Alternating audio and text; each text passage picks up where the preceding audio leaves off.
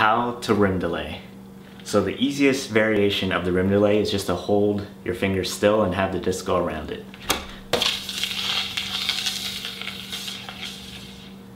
So if you notice the disc is pivoting around my finger, which is not what you want. That's not the most useful skill. What you want is the disc to stay still and the angle to go around like this.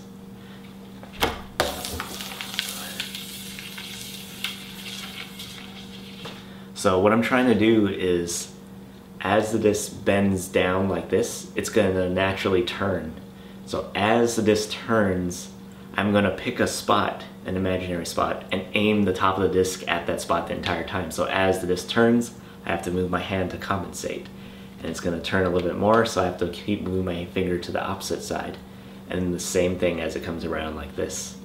So what my hand is doing is actually making a full circle around like this. So one more thing, when you're inside the rim, don't touch your hand or don't touch any of your skin against any of the plastic as it's spinning because that will slow it down.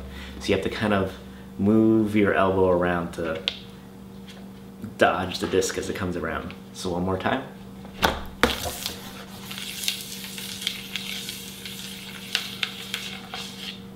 And that's how you rim delay.